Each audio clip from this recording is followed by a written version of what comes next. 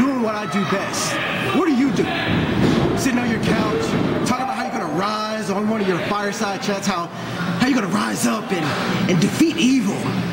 Zack, on August 25th, it's a four-way for your title. Myself, Marcellus King, Case of the Night.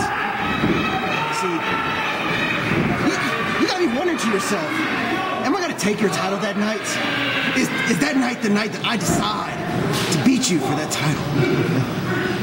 You'll just have to see. See, you talk about how you're gonna rise, how you're gonna, how you're gonna defeat evil. Zack, even Superman died.